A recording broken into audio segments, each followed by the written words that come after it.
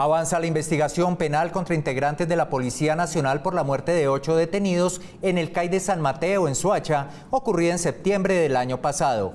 Hasta el momento, un oficial y un patrullero fueron destituidos por parte de la Procuraduría General de la Nación.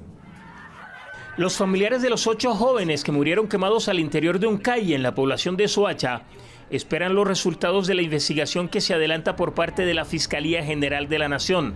Hasta el momento, las decisiones que implican a los uniformados de guardia el día de los hechos, ocurrido hace un año, están relacionadas con sanciones disciplinarias de la Procuraduría General de la Nación contra dos de los agentes, la teniente Aleida González y los patrulleros Jorge Suárez Orduz y Gabriel Ruiz Moreno, quienes deberán responder por varias conductas relacionadas con homicidio.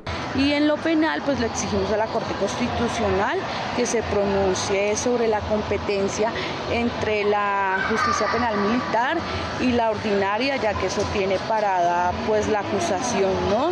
Y a la fiscalía le pedimos que se acelere la investigación para que se esclarezca después de un año la muerte de mi hermano. Vamos a llegar hasta las últimas instancias para que siga el proceso tanto penal como judicial. Los uniformados imputados por la Fiscalía tienen el beneficio de casa por cárcel que en su momento les fue otorgado a raíz de la pandemia.